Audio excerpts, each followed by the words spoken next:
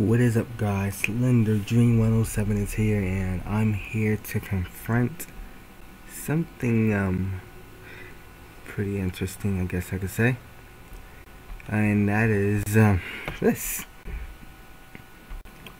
Roblox has an update and this update is not gonna lie, it scares me.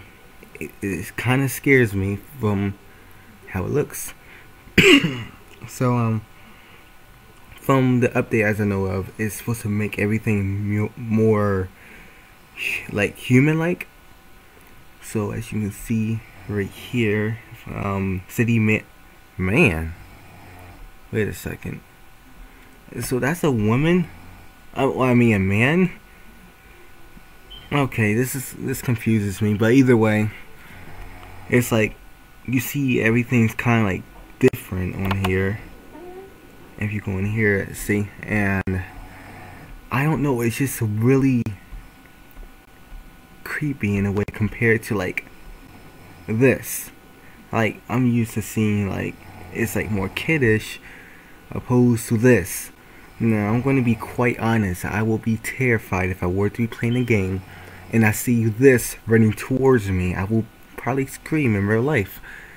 And I'm not saying the update is bad, but it's just I'm don't see me ever using it because I most likely will not ever use it. And if I do, like suddenly start using it, there's one I either hit my head really hard on a rock, or two.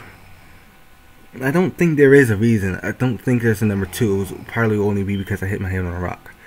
But I like the tra traditional Roblox style, which is this. But if they want to change it to this, like this is a choice. It's not like everyone's going to have to be required to look like that.